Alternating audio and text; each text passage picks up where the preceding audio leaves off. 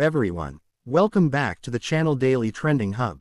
Today we're diving deep into the futuristic world of the Mikoyan MiG-41, also known as the PAK-DP, the ambitious next-generation Russian interceptor.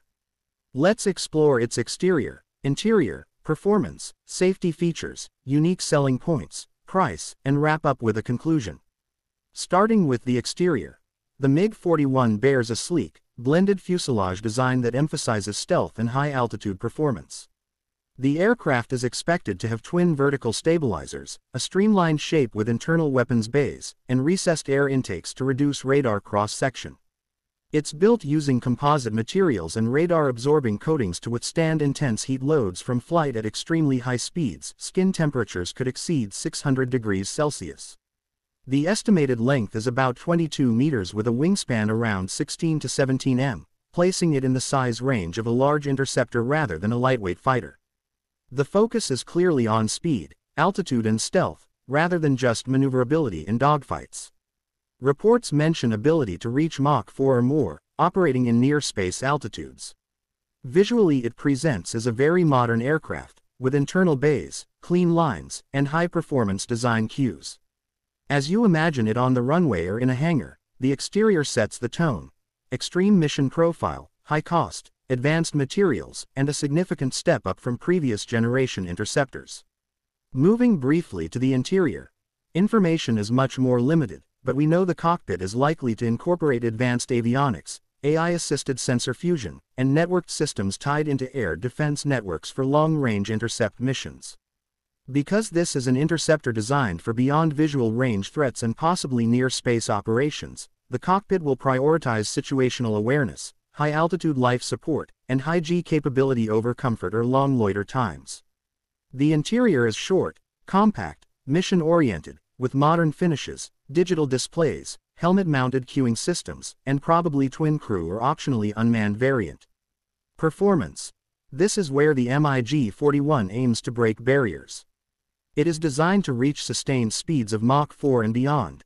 Estimates place top speeds around Mach 4.3, 3000 plus mph, 4800 plus km per hour and in some claims up to Mach 5. Service ceiling is expected to be extremely high. Near space altitudes around 25,000 meters, 82,000 feet or higher. Range projections vary. One figure cites up to 7,000 kilometers ferry range or missions across long Arctic frontiers. The aircraft is intended to intercept hypersonic threats, operate at very high altitudes, and deliver weapons deep into contested airspace, all of which demands significant engine and cooling advances. The propulsion may use advanced engines derived from the Alabama 51 or next-gen RAM combined cycle technologies. While no firm production numbers or verified performance tests exist, this remains a development program. The design goals position it as one of the fastest and highest flying interceptors ever conceptualized. Safety features. Given its mission profile, the MiG-41 is expected to include a number of advanced defensive and safety systems. First, stealth and low radar signature reduce detection risk. Second, the aircraft reportedly incorporates advanced electronic warfare and sensor jamming suites to protect itself against enemy radars and missiles. Third, some sources claim integration of a laser anti-missile defense, enabling interception of incoming missiles while flying at extreme altitudes. Fourth, the high-altitude capability itself serves as a safety margin. By operating in near space, threats from conventional fighters and many missiles are less effective. Lastly, Advanced materials and structural design are necessary to handle the heat and stress of hypersonic flight, that indirectly improves safety by ensuring integrity under extreme conditions. However, it should be stated that because the program is still under development, practical safety records and systems validation are speculative at this stage. Unique selling points. What makes the MiG-41 special? First, speed. Few, if any, Operational fighters aim for sustained Mach 4 plus, that gives it rapid response over very large territories. Second, altitude. Near space capability means it can engage threats that many conventional aircraft cannot. Third, stealth interceptor hybrid, combining low observable design with very long range interception and high speed reach. Fourth, networked and future oriented. Avionics talk about AI, swarm operations, unmanned variants, anti-satellite role and integration with air defense nets. Fifth, strategic role. The design is especially tailored for the vast Russian Arctic and extreme altitude, long-range intercept missions where speed and reach matter more than dogfight agility. Sixth, potential export or signaling value. Possessing such an aircraft would represent technological prestige. It's a next-generation leap. Price. This is the area with the least firm data. There is no publicly confirmed unit cost. Some speculative sources, including forums and defense forums, hint at a price maybe on the order of 80 United States dollars minus 150 million per unit when production occurs, but these are speculative and not official.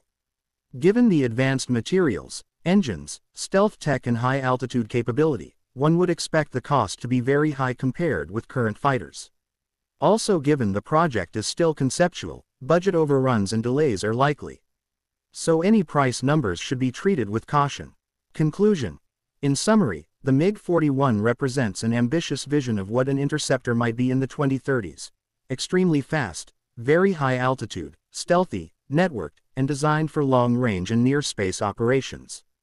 The exterior design underscores its mission. Sleek, stealthy, built for speed.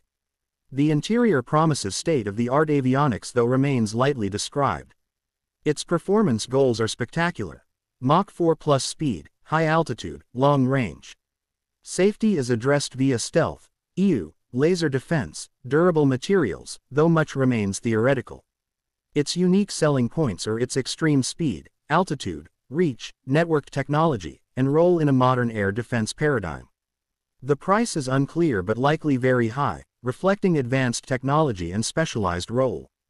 However, it's also worth noting that much of the MiG-41's reported capabilities remain in the conceptual or development stage, Analysts caution that technological hurdles, economic constraints and production realities may delay or limit the project. For enthusiasts and defense watchers it remains a very exciting concept, but for now it is not yet a flown, combat-ready system. Thanks for watching, and if you enjoyed this breakdown of the MiG-41, make sure to like, subscribe and stay tuned for our next deep dive.